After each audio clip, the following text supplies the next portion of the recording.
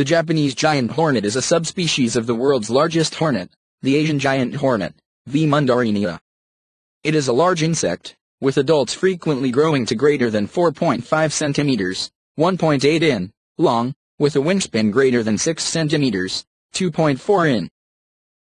It has a large yellow head with large eyes, and a dark brown thorax with an abdomen banded in brown and yellow. The Japanese giant hornet has three small, simple eyes on the top of the head between the two large compound eyes. Workers forage to feed their siblings.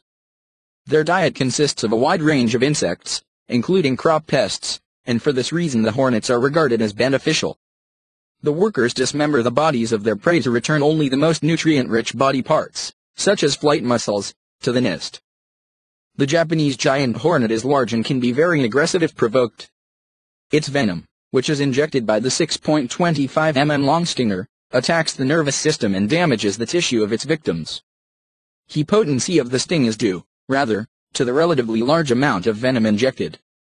Being stung is extremely painful and can require hospitalization. The warrior wasp, tarantula hawk, and bullet ant are among the very few insects with a sting more painful.